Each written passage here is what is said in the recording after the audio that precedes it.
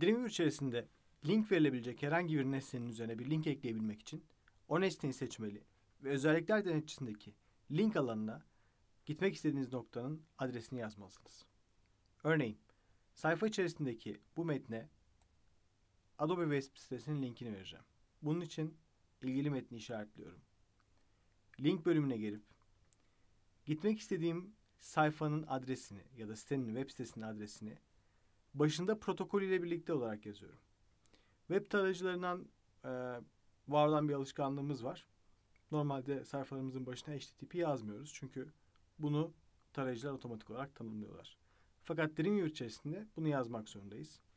Gideceğiniz hedef nokta bir HTTP sayfası olabilir. FTP protokolüyle bağlandığınız bir FTP sunucusu olabilir.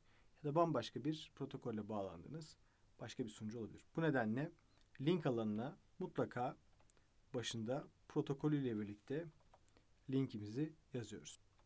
Yazdıktan sonra Enter tuşuna basarak yapmış olduğunuz değişikliğin geçerli hale gelmesini sağlarsınız.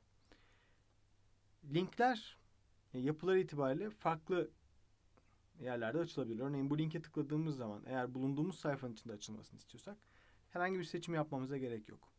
Fakat bu linke tıkladığımız anda yeni bir sayfada açılmasını istiyorsak o zaman Target açılır menüsünden blank seçeneğini seçmemiz yeterli olacaktır. Bu durumda artık linke tıkladığımız zaman var olan link, hedefteki sayfa yeni bir tarayıcıda açılacak ve içinde bulunduğumuz sayfa sabit kalacaktır. Sayfayı kaydedip F12 ile tarayıcıdan izlediğimizde linke bastığımız yeni sayfa içerisinde gitmek istediğimiz alanın açıldığını göreceksiniz.